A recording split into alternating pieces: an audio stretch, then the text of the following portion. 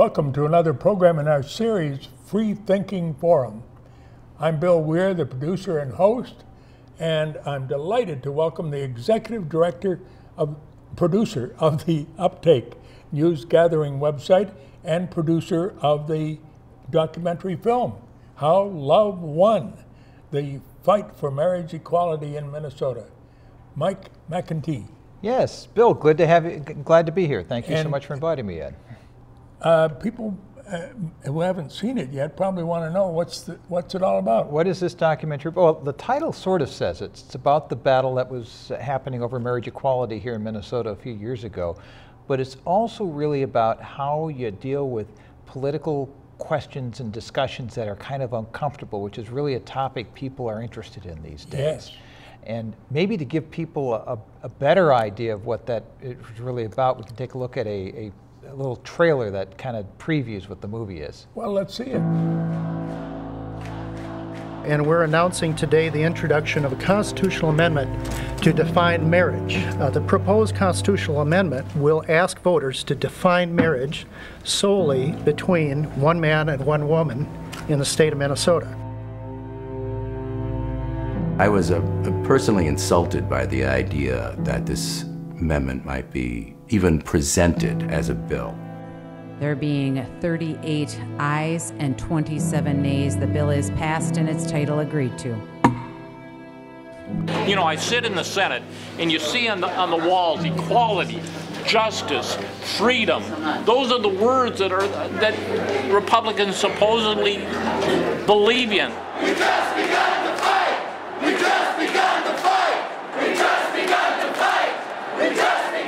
Were being looked at as a, as a group of people who are not worthy of, of the same things that everyone else is. It was a, a dark day that that happened. Um, of course, it turns out that they were doing us a great favor.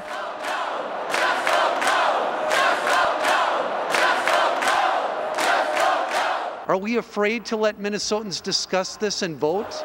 How in the world are we going to be a state that can beat something like this? No one has ever beat one of these, and so we have to figure out how, how are, what are we going to do that's going to make the difference?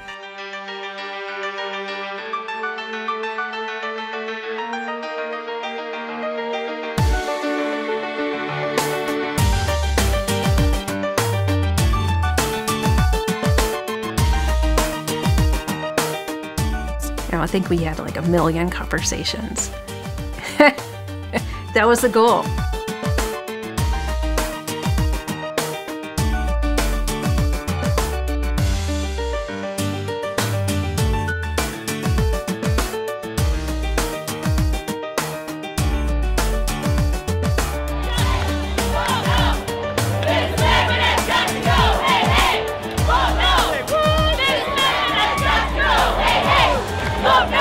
Part of it was the arc of history was on our side. The room erupted. There was this mixed feeling that night like, oh my God, we did it. We're not really done. you know, we're not done yet.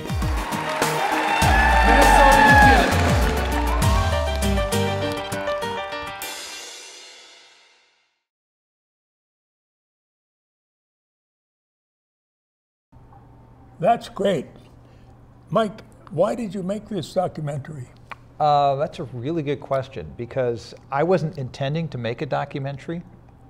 Uh, the Uptake, which is the organization I work for, covers political news in Minnesota, and this was a political story we were following here in Minnesota, and it was, you know, it was one of a bunch of stories that we were following. And as the, uh, the as things kind of wound down and to the point, you know, if you know the story, uh, there was a constitutional amendment that was going to uh, possibly make it impossible for same-sex uh, couples to ever get married in Minnesota. That was uh, put out there. The voters defeated it, and then the legislature the next year passed a law that uh, made it legal.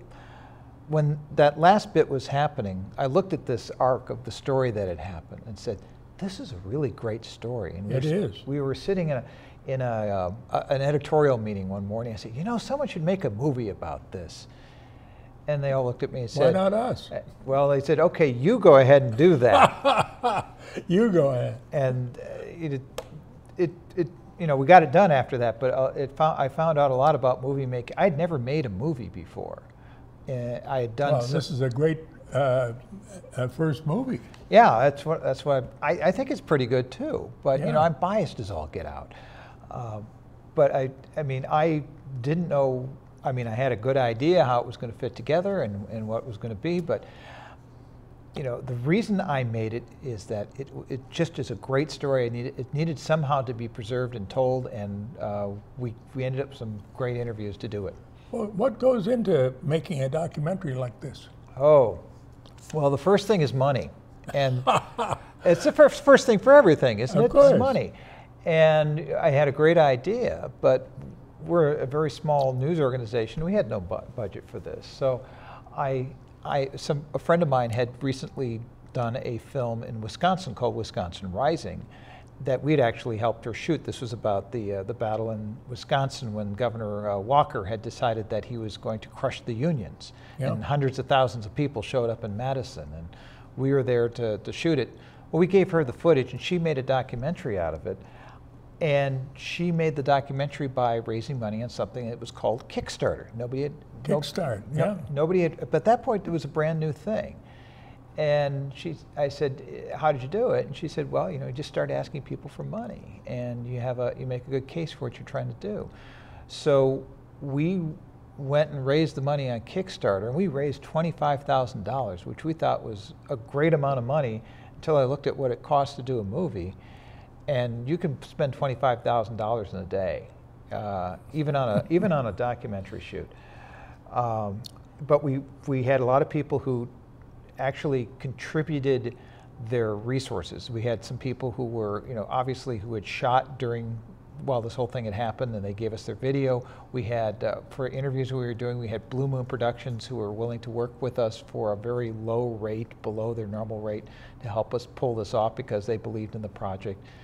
And we were lucky enough that the uh, Minnesota, Til- Minnesota Film and TV Board uh, had a fund that basically would match what our budget was to help us finish the movie. And so we ended up with a, a big budget of $50,000, which is about the catering budget for one day on some movies. Yes. And we were, we were able to, uh, with a lot of hard work from a lot of people and volunteers, able to, to pull it off that way. So you learned a lot from making this documentary. I, I learned a lot about finance that I didn't intend to learn, but I also learned a lot about uh, the people who were involved. And that's what really makes this thing work, is the, the people that we talk to, all the stories that are in this thing, because Yeah. you, you know the story. I mean, I, I explained the story. It's like, it's sort of like a spoiler. If you know how it's going to go, you say, why go? But you go because of the, the personal journey that people went on in this uh, movie. They, it, a lot of the folks that we talked to, and we, we talked to the activists, learned a lot about themselves by working on this. And this, that revelation comes through in the movie, and it's really, really kind of neat. They had to articulate why uh, they want this freedom to marry. Well, they had. Here's the thing. This this is the real interesting thing uh, that got that really wanted made me want to do this after I did some initial kind of research into how the campaign worked. Is it wasn't it, for the longest time, gay rights activists had been promoting same-sex marriage as that a right. This is a right. We have a right to do this. Uh-huh. And the rest of the population didn't get too excited about that because, hey, here's another group asking for a right. And then there's, there's all the other things that go with it, you know, in terms of religion and other things that people sometimes attach to that. And they, so it wasn't, that was not winning people over, at least in their, in their hearts where it counts. But they changed that said, okay, let's talk about this as love. Because you, I mean, you have a spouse, and mm-hmm. you, you know, what would you do if you couldn't marry your spouse and love, you know, love your spouse and live with your spouse and and that gets inside people's psyche and they start thinking about that. And no matter where you are on the political spectrum, that somehow speaks to you. And they had a lot more luck with this, working within people's value systems to talk to them about how something happens, instead of pounding away with the negative ads that you see in every you know campaign out there. So and so is bad, and you got to got to vote against them. They gave they gave people a reason, something to vote for instead of just against. Vote for the, uh, being able to love whom you love. Vote for the freedom to marry. Vote for love. That's what this was all about. And it's a lesson that unfortunately got lost in the very next election uh, because I think the next election turned out to be very, very negative as well. But I think if people go and take a look at this, there is something that can be extrapolated into how you should be doing politics to win. So, lessons and tactics Lessons and uh, tactics. from this campaign that we can carry over into other political campaigns. Well, you hear, that's, that's the hard part because um, the lesson is that you need to talk within somebody's values. We just, you know, we just covered that. That's, and that's great, but that doesn't always translate into candidates because it's more about the person. This is, but this is something that I think can have some bearing on that, but it definitely has bearings on issues. Now, Yeah. there's a there's a psychiatrist that we, uh, uh, excuse me, a psychologist um, that we talked to who's in the movie, who helped uh, the, the marriage equality folks put together their plan. And it's her her way of doing things. It was called Have a Conversation because, which, as you see in the movie, as you saw in the trailer, people spend a lot of time calling and talking to people, not just once, but two or three or more times about their own experiences. And not only calling on the phone, but uh, sometimes meeting in person. they? Exactly, exactly. And uh, her name is Phyllis Watts. And uh, when I was putting together the movie, uh, it took a while first to talk her into doing this because she was afraid that she was going to give the bad guys the information, you know, and that they were going to be able to use it. And I made the, I did the unusual thing as a journalist. I told her, look, I'll interview you. She was in California. I'll come out and interview you. And if there's anything you say you don't want used, I'll take it out. I won't use it. And she said, we agreed on that. And I, afterwards, I, I gave her a transcript of what she said. I said, is there anything I can't use? She said, well, you can't use the name of my clients. And I said, well, that's fine. I mean, that's okay. Of course. But she did take, uh, when we finished, when we finished the movie and she got to see it, uh, she said, can I take this too? She wanted to go to uh, Planned Parenthood in Wisconsin, and she took this over to them and said, "This is what I can do for you." And I believe she is now doing working with them. So it's those type of issues that can that this type of approach can absolutely help. Mhm. But I think it can also help candidates if they just kind of keep in mind that when they talk to the other side, they're talking to them in their values. I mean, and when you get outside of their values, that's when we get into calling people deplorables or something like that. that's where things start falling apart. Yeah. Yeah. And uh, so this might be important to Planned Parenthood across the country right now. It, it very well may be because obviously Planned Parenthood is under attack in terms of its funding, and you know whatever might happen with that, they are they may have to. Uh, I mean, they get funding from other places than the government, but they may need to rally people around them Yeah. and explain their story better. Well, they're they're providing the medical care for so many women and and so, men as well. Uh, that very important to them at this stage of life. Yeah, no, it is. It is, and but that message gets drowned out by the negative, and that's and that's what happened so many times with the uh, the marriage equality vote. Really? Because there was 30 states before Minnesota where they had a similar vote, and 30 times they had lost, even though the people who are working, let's call them the good guys, the the people who are working for marriage equality, had more money and more volunteers. They lost every time. And the reason was is that the other side put fear into people. And they did that by saying, hey, your kids are going to be taught about gay marriage. And that's what this campaign was about, was trying to preempt that, to talk about good things first, so that people, even though they heard those messages, they thought about them differently. And they thought there was some doubt in their mind. And they, you know, and when you, ent- when you I mean, the cigarette manufacturers knew this too. When you enter doubt into someone's mind, you start winning. I mean, the cigarette manufacturers entered doubt into people's mind about, you know, uh, the veracity, danger of da- tobacco. danger of tobacco smoke. That worked for them for the longest time. The facts eventually won out. Uh, and I'm not comparing the two here, but the tactic is the same. The Mhm. tactic is the same. If you can introduce doubt into something, you have a better chance of at least winning with people than you do if you just uh, yell. That's right. better to say, do you understand why we love? Exactly. Rather than we, demand our rights. it's not why we love. It's what do you understand? Do you understand why you love? Well, if you do, you understand exactly why we do. That's Uh-huh, that's see, that's that's the key is working That's within somebody's values. So, how can people see the documentary if, they missed it so far? Well, it's a, it's a little bit tough. It showed at the Minneapolis St. Paul International Film Festival last year. It won the Audience Choice Award. Uh, Mm-hmm.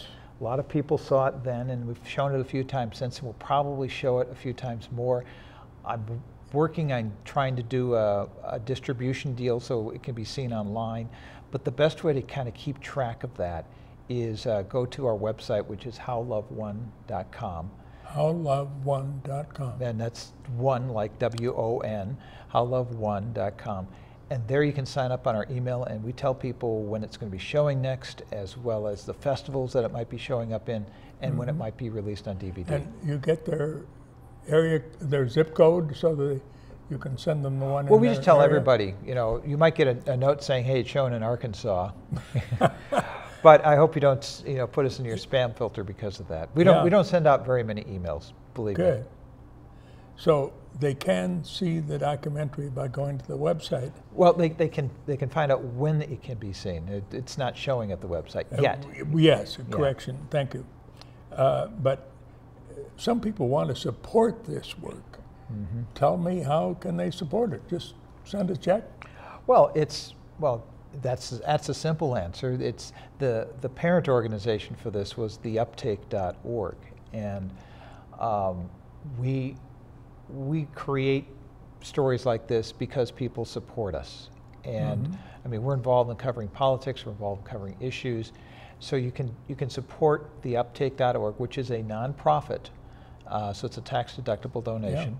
And you just go to theuptake.org. There's a donate button there, and uh, that supports projects like this. Is there a w- way to indicate you wanted to support how? Well, you, long? you could you could put I want to support the movie on there, um, Yeah. but we're and, and you know we're still we still need money to try to get the movie pushed out there and all that kind of stuff. Well, I'd sure like to see it shown internationally, uh, being available to a lot more people. And it, that is, I'm learning a lot about movie distribution too, because Oh, it's, good. it's not, it keeps changing because the internet's changed it. It used to be you had to wait around for some Hollywood producer to greenlight your project and then it would be distributed in theaters.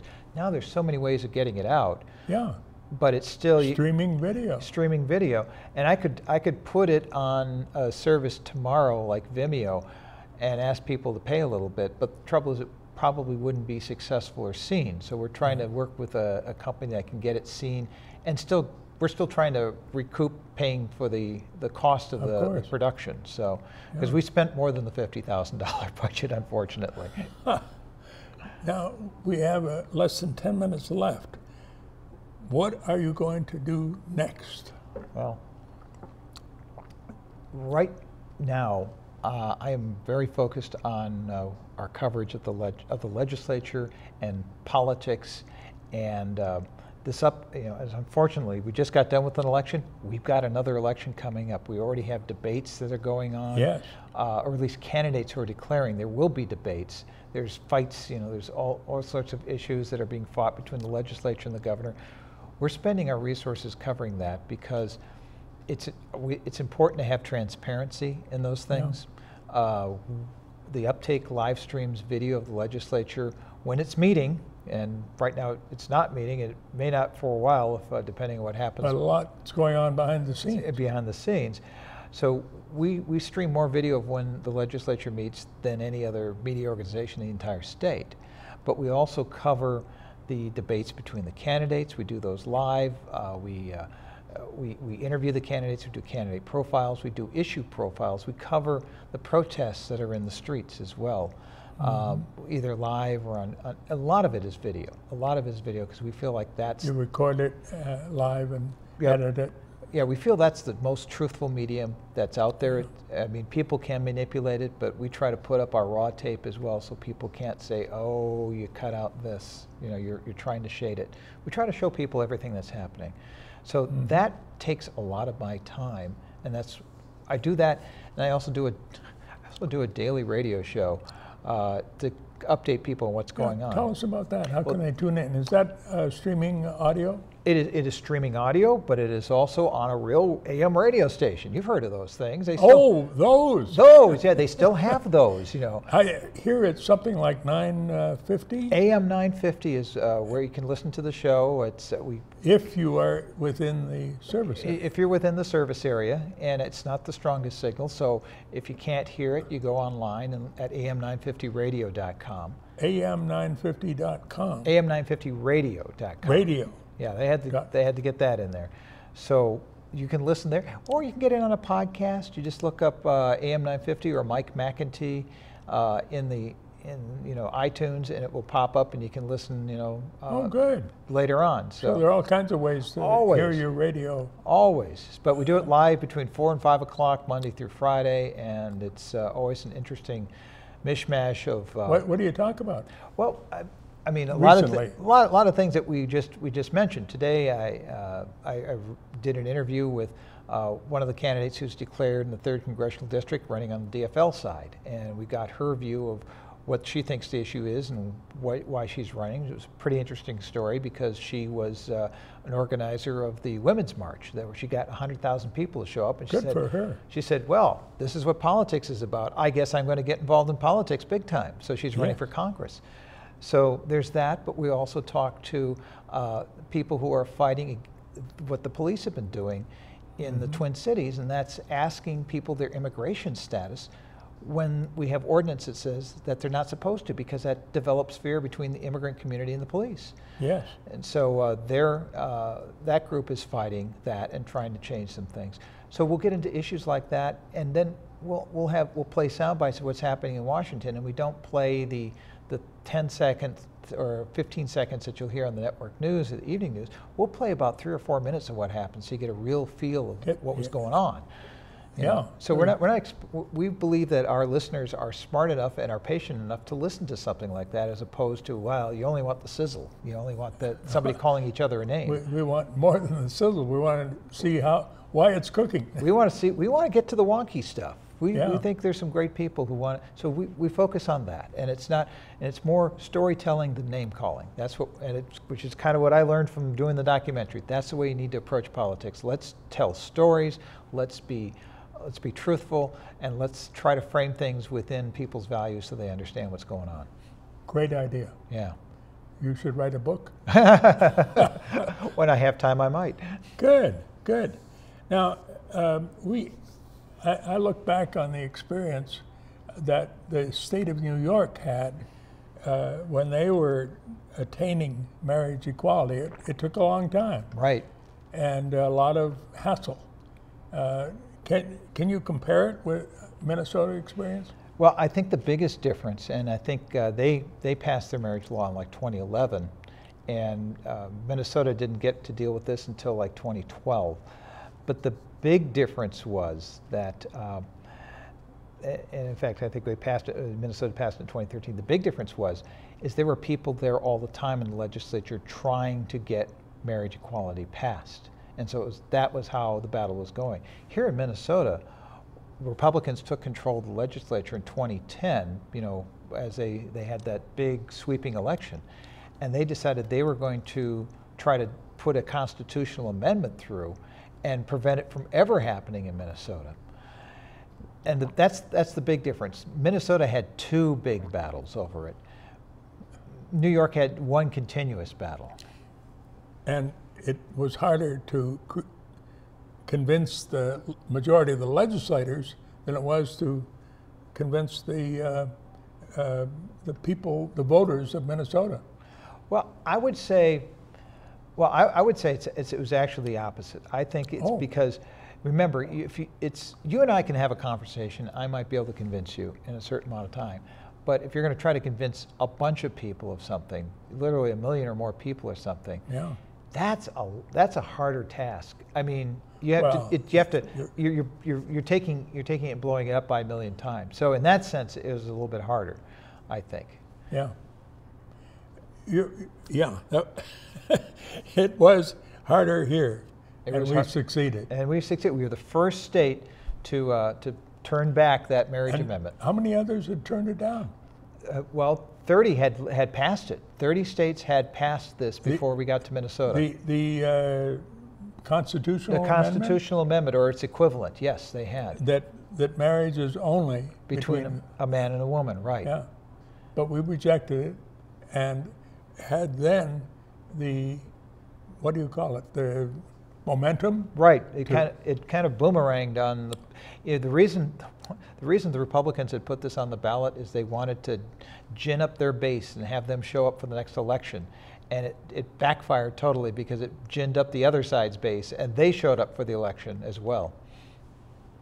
Well, this has been really valuable to hear about the film, and now I, want to see it again. to, to consider how does this apply to other issues as well. Yeah, it. I think it definitely does, but again, it you, it takes a little bit of thought. I think I issues it works, yeah. candidates. It takes A lot more, of thought. It takes a lot of thought. You got to have the right candidate. No matter what you come down to, you got to have the right candidate to win an election. Yeah. Well, are you going to be a candidate someday? No, I am a candidate for having a great dinner and, and trying to get a nap in. I, I'm not running for anything. Okay. well, th- this has been so good, uh, Mike, to learn from your perspective uh, as the director and producer of that film. Uh, we, we learned a lot. Thank you very much. Thank you, Bill. I appreciate the invitation to come in.